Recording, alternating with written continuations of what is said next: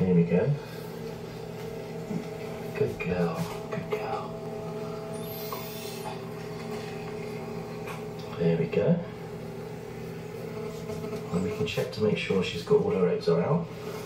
So it's very important not to lift her if she's not got those out. So let's just have a little look. She feels empty to me. Right, I'll place her in the bath and then we'll come back and see what we've got in terms of the clutch. Looks like there's three good eggs and two boobs. Um, we'll just put that in the bath. So I just had the bath earlier.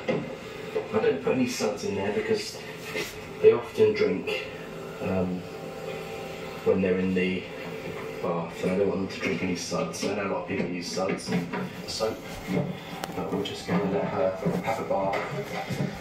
That'll get her back on food quite quickly.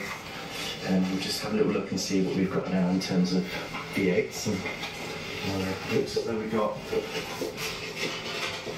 two boobs and three good eggs.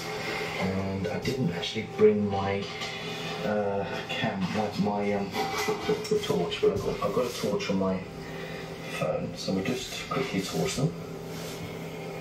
And it's usually better to torch them when the lights off, so I'm going to switch the lights off. We'll just see if they've got any veins. Hopefully they have.